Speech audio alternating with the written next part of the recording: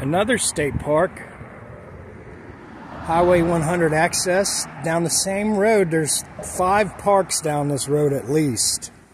Pretty cool, man.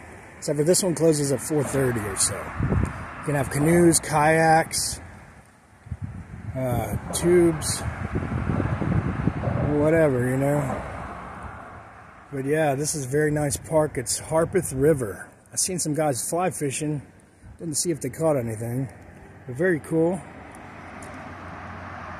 Very cool park. Let's see if we can see some of the river. It's got rapids.